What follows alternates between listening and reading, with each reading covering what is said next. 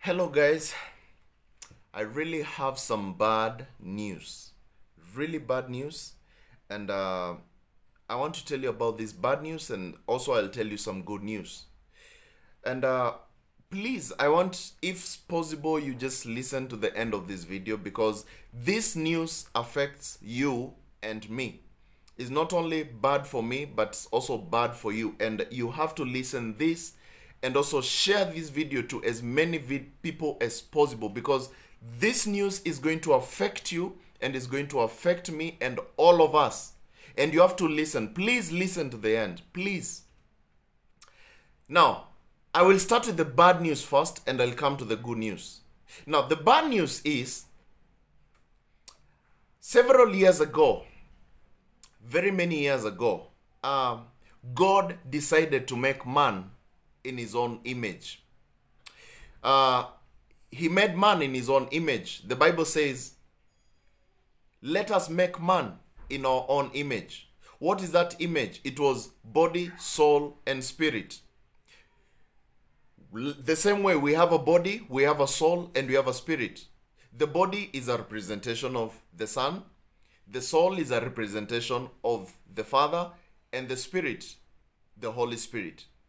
Now, after he made man, God set man on a beautiful garden called the Garden of Eden. And he told him, All you need to do is enjoy, stay here, and enjoy everything that I've given you. And uh, since God did not want to create robots, he did something. He gave man something we call a free will. He told him, I don't want to create a robot, so I'm going to give you a free will so that you do things in your own way, the way you accept. So there are two different ways that I'm going to give you. Two kind of choices. He told man, you will either trust in me, okay, and I will do everything for you and I'll take care of you, or you will trust in yourself and you are going to know what is right and wrong and you're going to die. There is a consequence. If you decide to trust in yourself, you will die because I created you and I know this. And he told man, the choice is yours. And he set two types of trees in the Garden of Eden. One was called the tree of life, and the other one is the tree of knowledge. If you eat from the tree of life, you will believe in me and you will continue trusting in me and I'll take care of you. Don't think about anything. Don't think about all things. I will take care of you as your father. But if you decide to eat from the tree of knowledge, then take care of yourself. But remember, you're going to die. But then, man decided, let me take the bad option. Let me, let me, let me, let me do it my way. Man decided, let me eat from the tree of knowledge. And immediately man ate from the, the tree of knowledge, his spirit died. Because God is true and what he says is true, his spirit died. Now, when the spirit dies, remember the spirit controls both the body and the soul. The spirit is just the same way you can you can talk about a ball, a football. The spirit is the air inside the football, and the soul is the tube inside the ball. And the outer skin is the body. So when the spirit is out, it means the tube and the outer cover of the ball cannot function.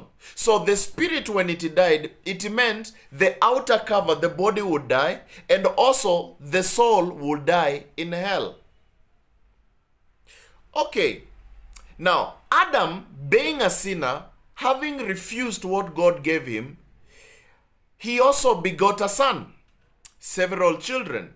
And we see a good example in Genesis 5, verse 3.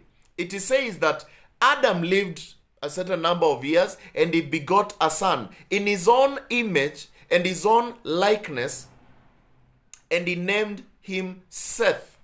Now, why does the Bible tell us that Adam begot a son in his own image? It means this son was born in the fallen state. He was born a sinner. This man was born separated from God. This man was born in the same characters of Adam. And and of course it went on and on all descendants of adam they were born in the same nature in sin and separated from god and uh, god told us one thing in the book of romans 6 23 that the wages of sin is death so if you're born a sinner you're definitely supposed to go to hell that's your destiny you will die in hell so nobody is immune to this because we are all children of Adam. That's the bad news. That's really bad. Now, what are we going to do? What, what are we going to do? Because this affects you and it affects me. But now, let me give you some good news. Let me explain to you something, some really good news. Now, we understand that God is really merciful and is a loving Father. Now, in the Garden of Eden, Adam felt separated and he felt naked after he sinned against God. After he said, I will trust my, my choice and I will not trust in you, God. When he stopped believing in God and said, I will believe in myself, he sinned against God and he felt naked. And we see this one in Genesis 3, verse 9 to 10.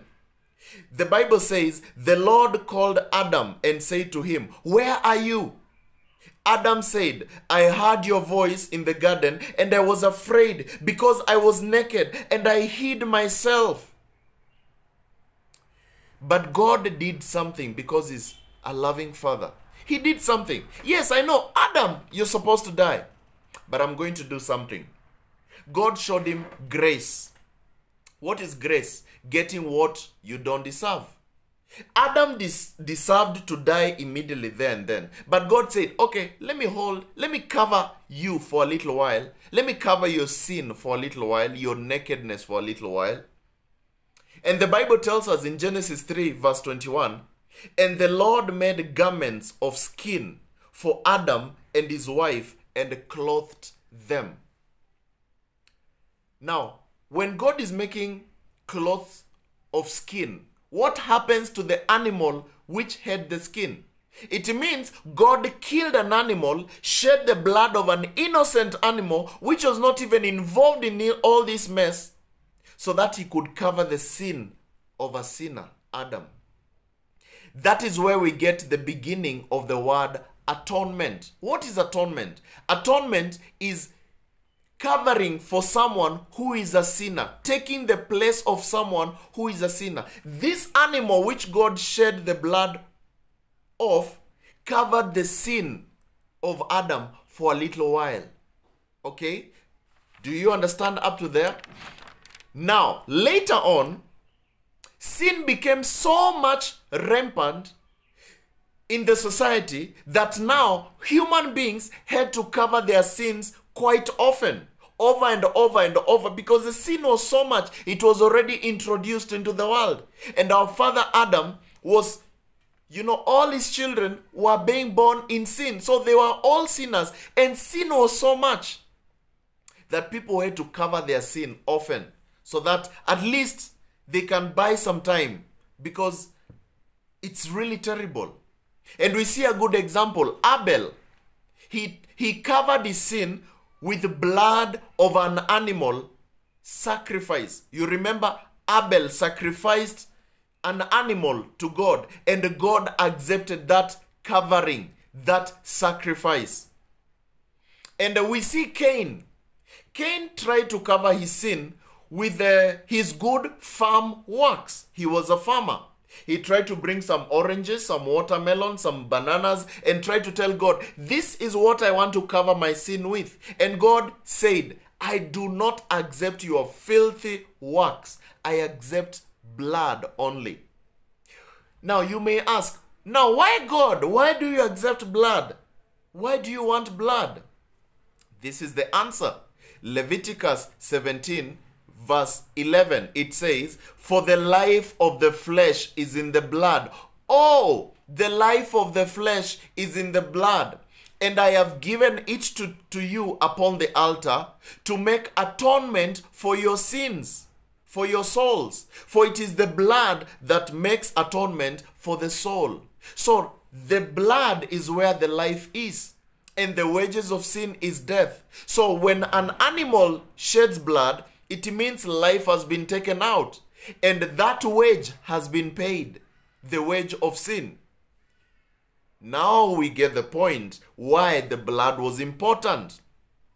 Now, let's continue. Moses came and God gave him a set of instructions called the law. Now, what was the law? The law was basically instructions for the people who would find themselves sinning in a more organized way.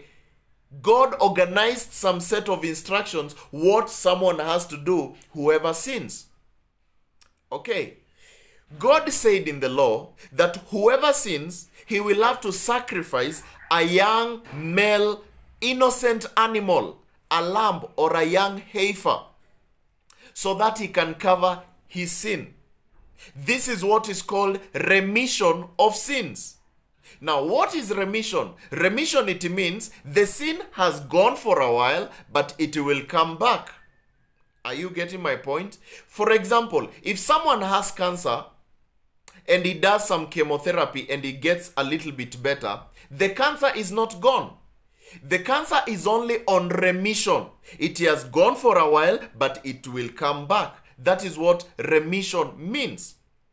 But now, sin was so much, and the people were sinning so much, and they, they could not be able to keep these instructions. They could not be able to keep this law.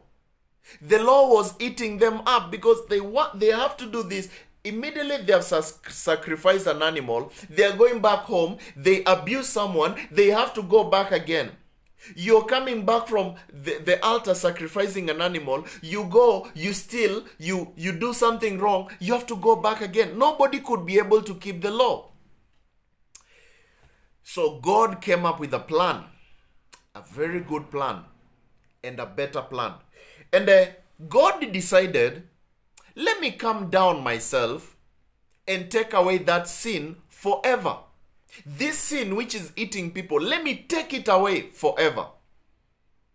And we see this when uh, John the Baptist was baptizing people and he saw Jesus coming afar. He looked and he said, Behold, in John 1 29, it says, Behold, the Lamb of God which taketh away the sin of the world. There are two keywords here the Lamb of God. Why is Jesus called the Lamb? Because he was coming to be slain and his blood would atone for the sin of the world. And it will not only remit the sins, but it would take away the sins. You see, the Lamb of God, which taketh away, not covers the sin, but takes it away once and for all. Mm-hmm. But you may be asking, how can we prove that Jesus was really God? How can we prove that Jesus was really God? Coming to save mankind. Maybe Jesus was some, uh, you know, some angel, or he was the archangel, or he was a created being, or how can we prove that Jesus was really God Himself coming down? The Bible tells us in John chapter 1, verses 1 to 3, it says, In the beginning was the Word. So mark this, this person called Word. In the beginning was the Word, okay? Whoever is called Word. And the Word was with God. So whoever is called Word, he was with God in the beginning. And the Word was God whoever is called Word, he was God. Mm-hmm. Makes some sense, right? And the same was in the beginning with God. All things were made by him, and without him was not anything made that was made.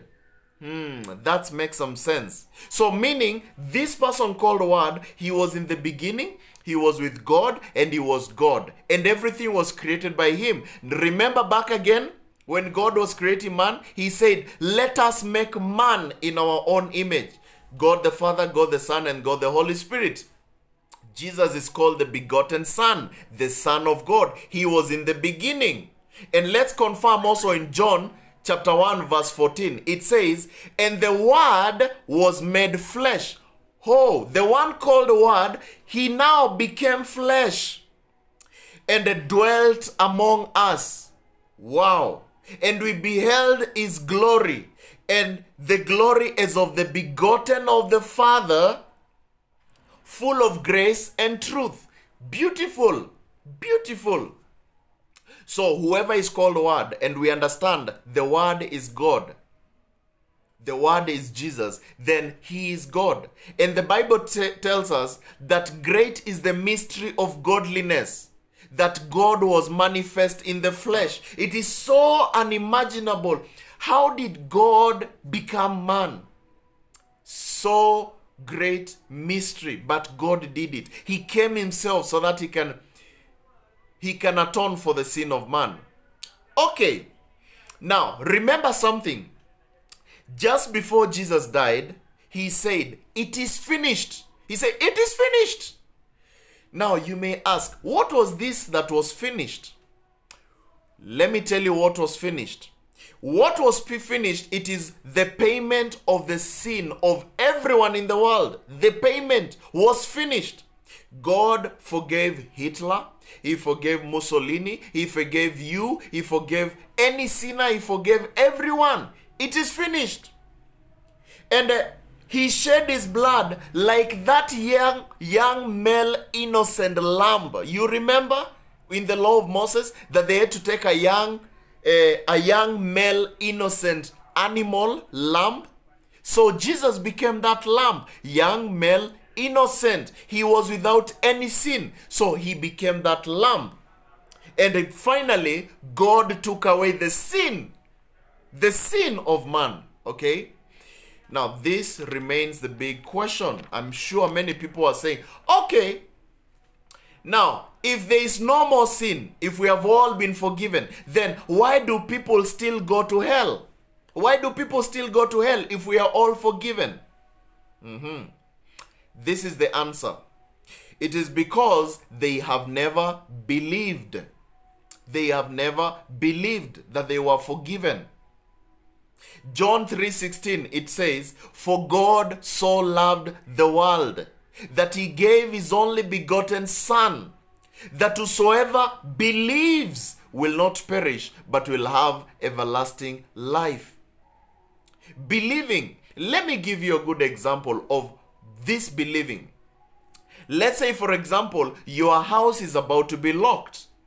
You have some rent arrears. And then you call me and you tell me, Keith, I'm really in big rent arrears and I don't know what to do. Please pay for me.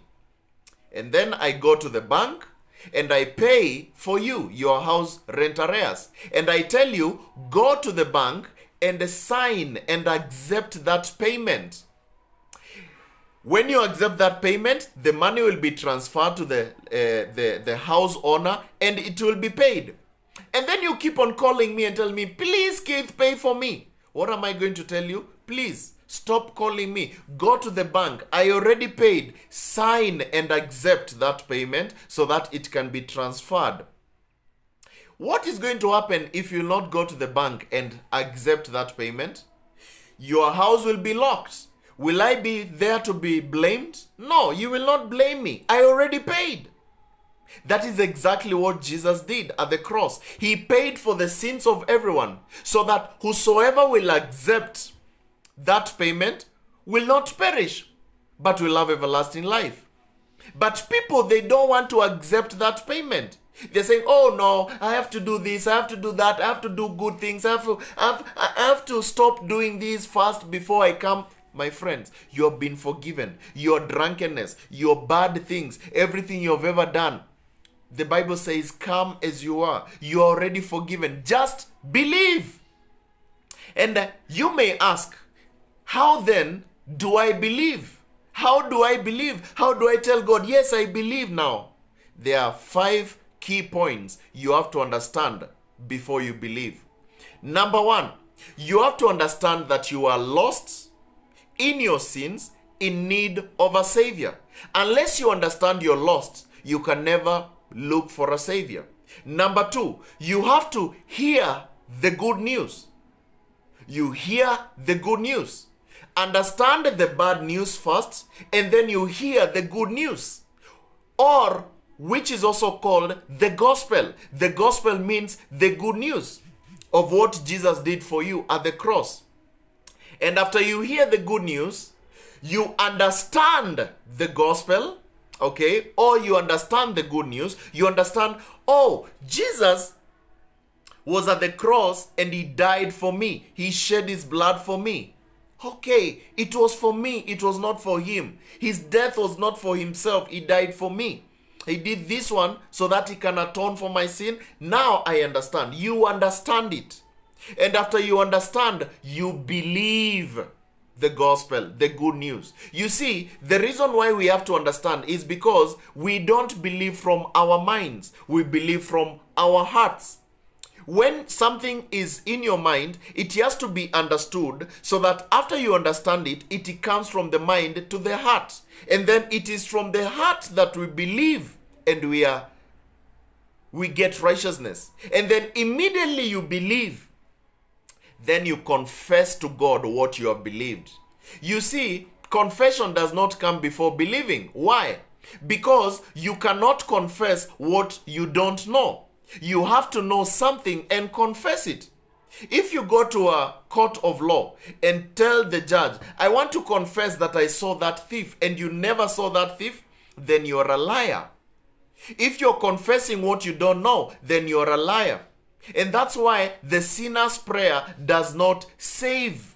If you say a prayer so that you can be saved, that's a lie. You're not saved. Are you seeing the point here? So it's really important for you to hear, understand first. You understand that you're lost. You understand the bad news that you're lost and you're born in sin. You hear the good news that Jesus died for your sins, he was buried and rose again the third day according to the scripture, 1 Corinthians 15 1 through 4. And you understand the gospel that this was all for me, not for anything else. And then you believe the gospel from your heart, and then you confess to God in a prayer. You tell Him, Jesus, now I understand without any shadow of a doubt that you died for my sins you were buried and you rose again the third day according to the scriptures. I accept you and I accept this payment of sin by faith. Please be my Lord and Savior. My friends, once you understand this and you believe this and you confess it out, you are saved, sealed, and sanctified unto the day of redemption.